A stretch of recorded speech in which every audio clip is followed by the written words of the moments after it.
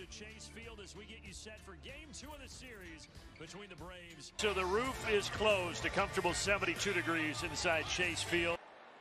First pitch of the ball game is high to Acuna, here's who just lost to the Yankees a couple of moments ago. 7-10 start here Pacific time and it's a ball and two strikes. Time with the Houston Astros.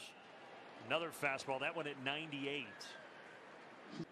Nelson's 1-2 down the running toward foul territory and that's where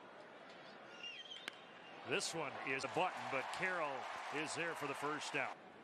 And his first pitch is a fastball and he gets the call there from Todd Tichenor. And 0-2. Nelson tonight.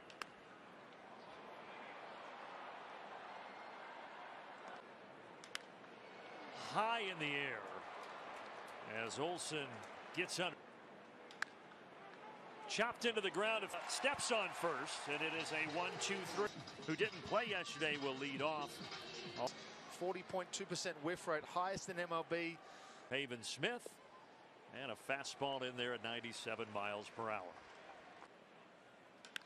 This time he laces it to left center.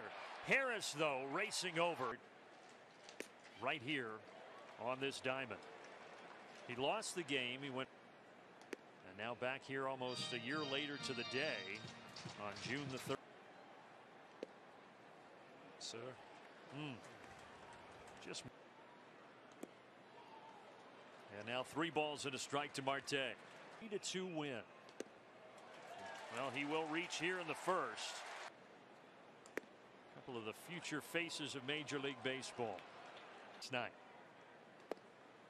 But he's down here 0 2.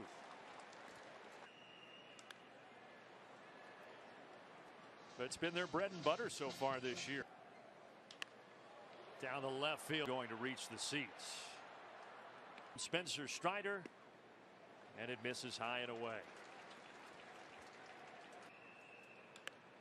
Another foul ball so a good battle here Strider and Carroll. Nine. Strider got him. His major league leading. Fouled back 0 1.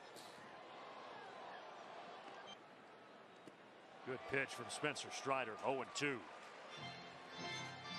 Runner goes and a foul tip so the at bat stays alive. Majors runner not going here 1 and 2. He won't get it on that pitch.